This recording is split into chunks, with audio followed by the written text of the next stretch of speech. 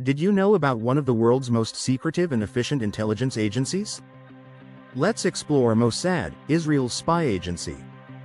Mossad, founded in 1949, is Israel's intelligence agency, renowned for its covert operations, intelligence gathering, and counter-terrorism efforts. Operating with a small but specialized team, they rely on agents skilled in languages and deep cultural knowledge, enabling them to operate in hostile territories with minimal detection. Now, let's dive into 7 incredible facts about Mossad. 1. In 1976, Mossad was behind Operation Entebbe, where Israeli commandos rescued 102 hostages from a hijacked plane in Uganda. One of the most daring rescue missions in history.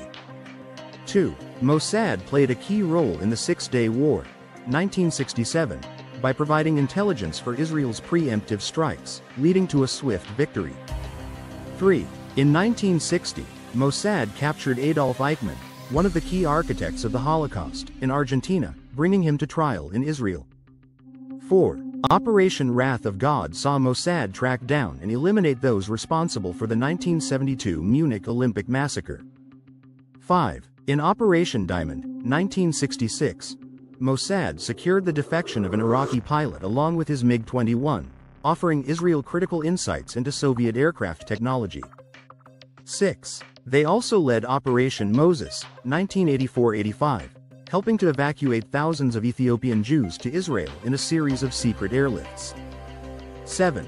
Despite their small size, Mossad's extensive reach and success rate in high-stakes missions is legendary.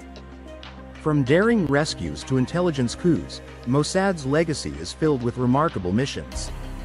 What fascinates you most about them? Let us know in the comments below. If you like this video, please like and subscribe and hit that bell icon for more videos.